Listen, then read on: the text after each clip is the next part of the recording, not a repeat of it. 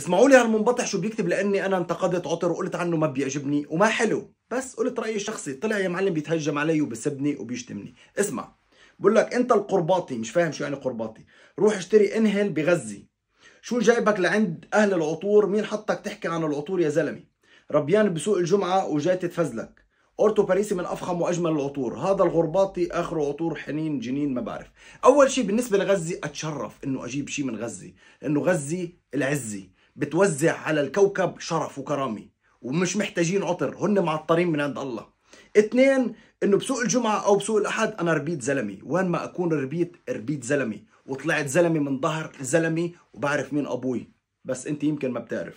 اثنين أو أخيرا بالنسبة لأورتو باريسي لعطر تيروني حكيت عليه رأيي الشخصي. أنت منبطح وبتحبه وبتعشقه وبتعبده لسخ... استغفر الله العظيم هذا شيء بيرجع لك. طز فيك وبأورتو باريسي وبعطوره كلها آخر همي ولك لأنه أنا بحكي رأيي عجبك أهلا وسهلا ما عجبك عمره لا يعجبك.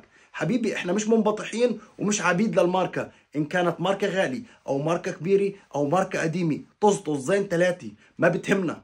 أنا بحكي رأيي وبحرية. وإذا ما عجبك رأيي فيك ما تشوفني وتعمل لي بلوك. وروح ما تقابلنيش يا كديش. باي.